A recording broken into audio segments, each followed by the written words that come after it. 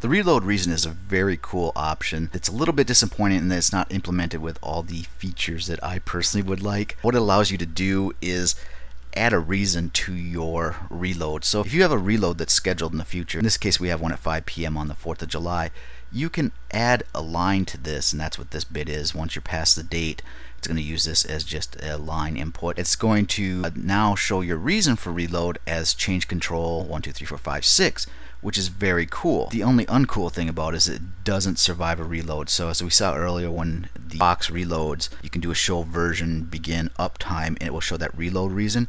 It'd be very cool if it, if it kept this uh, reload reason because you can see that the last time it was reloaded, the reason for this was not only a reload that we specified, but that it was tied to this change control. That functionality would be very cool. The good thing is, is it does show up in your log message. So you have logging configured to an external server.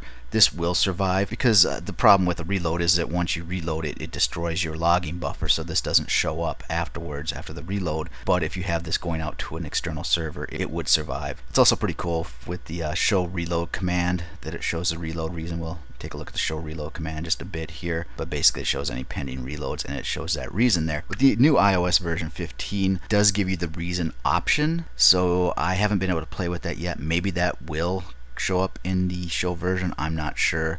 Uh, I know that with 12.4 code it does not. And we'll take a look at this on the CLI if you do reload at 7 and if you invoke help you can see here that it's got all the information it needs. So anything past this date is just going to be used as uh, input for the reason for reload and we can put change control. Confirm it.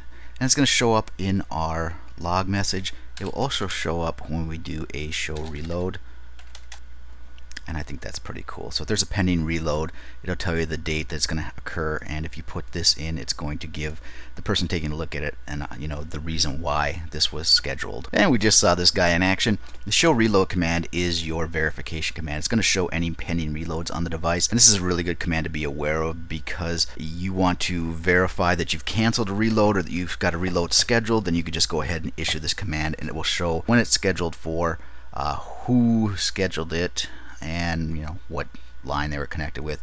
And then that reload reason which we just showed here you can have that populated with uh, pertinent information. Okay and I saved the most important option for last and that is the cancel option. For most Cisco commands the way to reverse out of it to disable it is simply to reissue the command and have no preceding it. Uh, in this case, if you have a reload that's pending, and this one was in 2 minutes and 55 seconds, and you're like, oh, I don't need that reload. I really, you know, it's middle of production day. I can't have this reload. I need to stop this. You need to know this command. You need to know this command because no reload's not going to do anything. You can type, pretty please, IOS, don't fuck me over and reload this box. It's not going to do anything. What you need to do is issue the reload cancel command. As soon as you issue this command, it doesn't ask for verification. It will go ahead and it will stop any pending reloads. So it's going to give you a little message that says the shutdown has aborted and it will also give you a log message saying that you canceled this at this time. So this is a very important one to know because if you're going to schedule reload, you better know how to stop that reload in case you have to. So let's see that in action. We'll do a show reload and our reload that we just scheduled. Well, it's 570 some hours in the future, so it's not really imminent. But if we want to stop this, we just need to do reload cancel and spell it correctly. And there you go. And now if we issue the show reloads, we should see that there are none pending and there are no reloads scheduled. And that's going to wrap it up for this lesson. I hope that you find that the options that come along with the reload command are as cool as I think that they are. And as always, thank you for joining me in the Packet Lab, and I hope this helps you on your route to becoming a network god.